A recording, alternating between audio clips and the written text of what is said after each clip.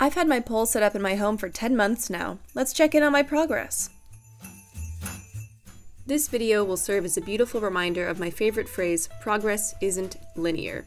Although I'm always so excited to show you guys how I've developed over the months, this month is not very impressive. December is really busy and hectic, and I haven't had time for much pole training. Plus, in the past week or so, I've developed a mysterious vertigo, so you're not going to see me going upside down or spinning at all in this video, and that limits a lot of what I can show off. But here are some little things that I allowed myself to do.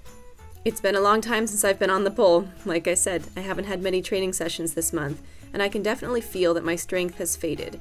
And that's okay. You don't need to always be capable of busting out your hundred greatest tricks anytime someone points a camera at you.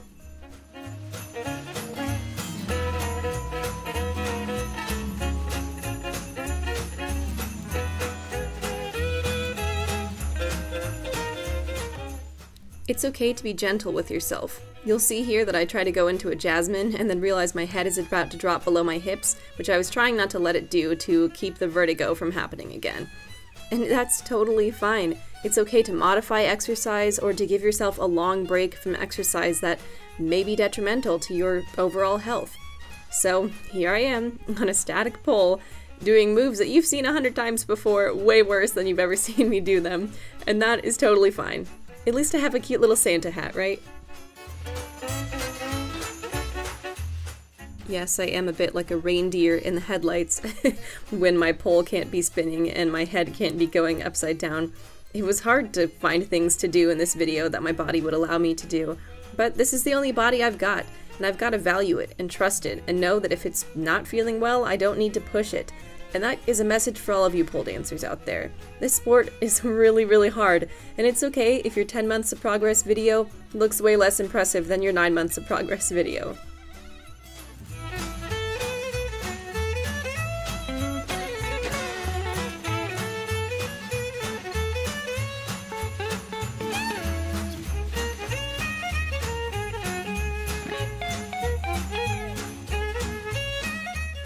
I don't even have any particular moves that I've been working on lately because it's just been so long since I've had a nice long pole training session. I'm excited to get back to them in the new year when I'm feeling better, but for now, here's what I've got.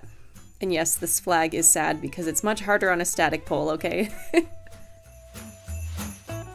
I guess this thing is my big show-offy move for this video, because it is the thumbnail, after all. I'm not even sure what this is. I don't know if this is like prep for an Iron X or what, but I don't know, feels kind of cool. Check it out, I'm making progress. and don't be feeling too bad for me. My ho-ho holiday spirit is still high, and I was still rocking out and dancing around while filming this session.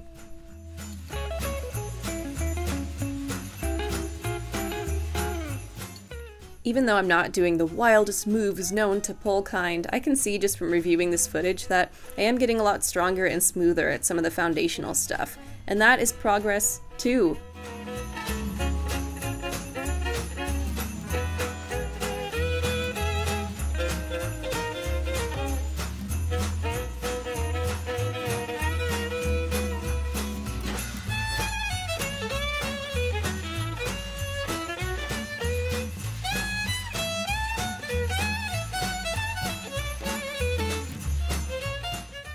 Here's me trying to link a couple of moves together so it's not just like, cool, there's my impressive move and I'm on the floor again.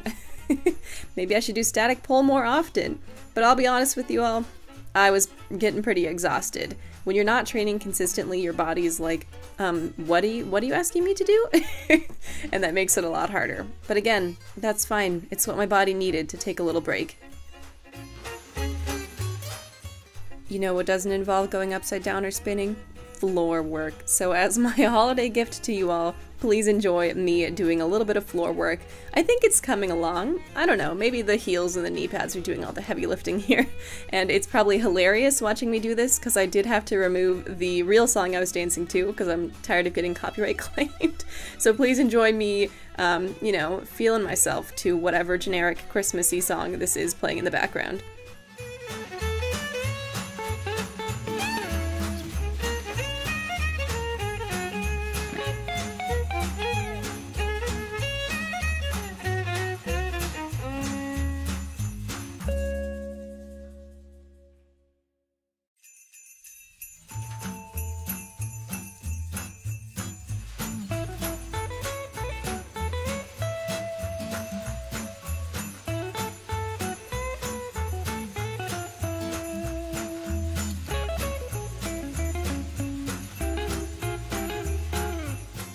You'll see that I catch myself once or twice, like doing a little hair whip or something, and then being like, oh, I shouldn't do that if I'm experiencing vertigo.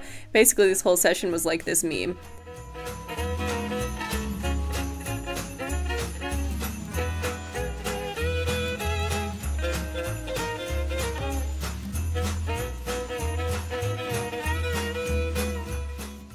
Don't worry, I am monitoring my health, so I'm excited to return to slaying in the new year. Slang? Slay? Oh, okay.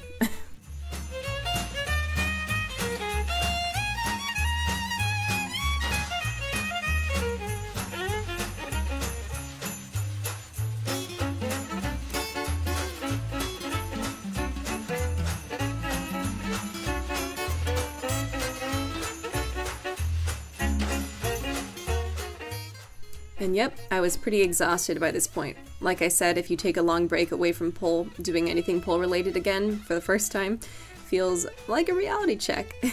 but that's okay, that's all part of the journey.